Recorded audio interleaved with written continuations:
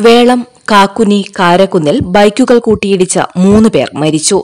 പാതിരപ്പറ്റ മരത്ത് അബ്ദുള്ളയുടെ മകൻ അബ്ദുൽ ജാബിർ കണ്ടോത്തുകുനി കേളോത്ത് കുഞ്ഞമ്മദിന്റെ മകൻ റഹീസ് പൂതമ്പാറ കടത്തലക്കുന്നിൽ ചാക്കോയുടെ മകൻ ജെറിൻ എന്നിവരാണ് മരിച്ചത്.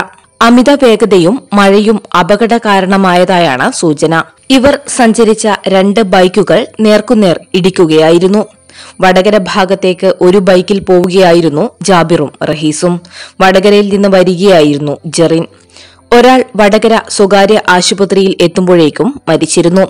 ഒരാൾ കോഴിക്കോട്ടേക്കുള്ള വഴിമധ്യേ കൊയിലാണ്ടിയിൽ എത്തുമ്പോഴേക്കും മറ്റേയാൾ കോഴിക്കോട് സ്വകാര്യ ആശുപത്രിയിലും മരണപ്പെട്ടു.